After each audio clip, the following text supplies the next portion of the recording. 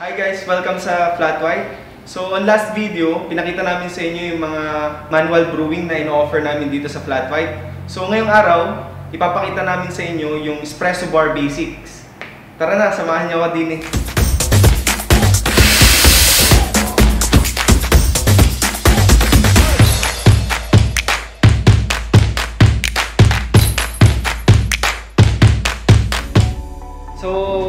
Gagawin natin ngayon yung espresso, yung pinaka-base ng lahat ng hot beverages. So, una, ah, dapat gawin mo muna yung portafilter. Tapos, ah, mag-grind ka na ng espresso beans.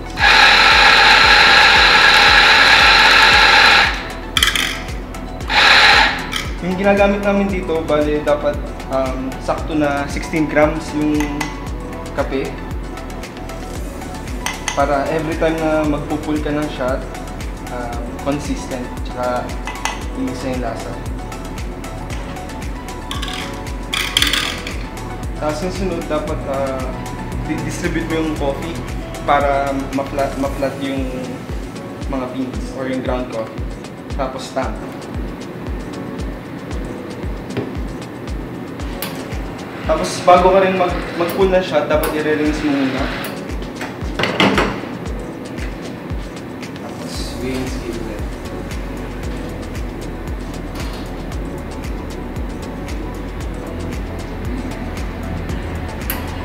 Dun sa espresso, dapat yung, kung 16 grams yung in, dapat yung out niya o yung ml na mismong espresso na, nasa 30 ml.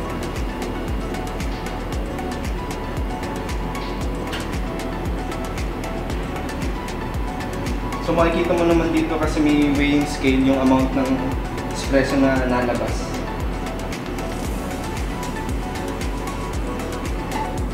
Yan, so parang perfect ng perfect shot siya ng espresso kasi 30 ml tapos within 22 to 28 seconds yung ah, espresso time. Diretso na yan. So yung sulit natin gagawin na drink, um, latte.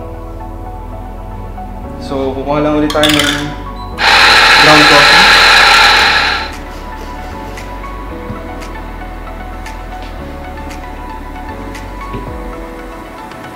Yung latte, ano siya, um, shot ng espresso tapos steamed milk.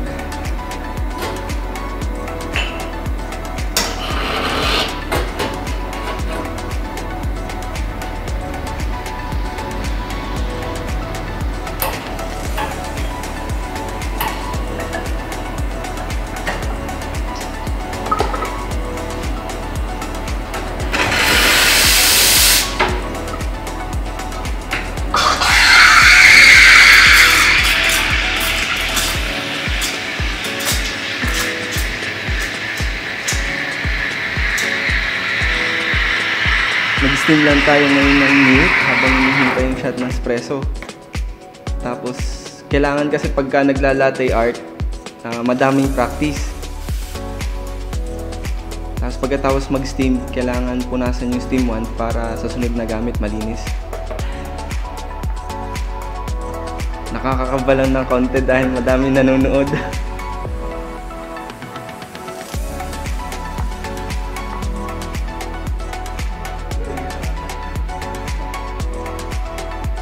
Nakakapanibago pagka may camera nakatutok sa'yo, parang nakakapangatal.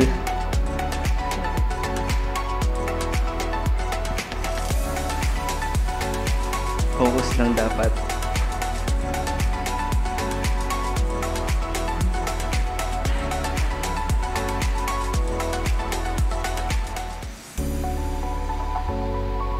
Yung sunod na drink na gagawin ko is yung Americano. So, isang shot lang siya ng espresso.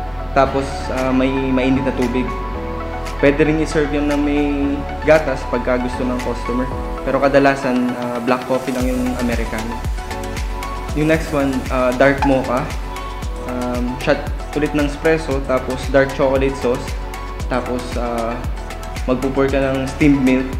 Pwede rin may konting latte art para mas presentable sa sa mga customers. Yan na. Ang ginagawa ko dyan ay yung flat white. So, dalawang shot siya ng espresso, tapos ah, steamed milk. So, ibig sabihin nun, mas bold yung flavor niya. Kumbaga, ah, matapang yan, kaya kanyang ipaglaban. focus na focus, oh.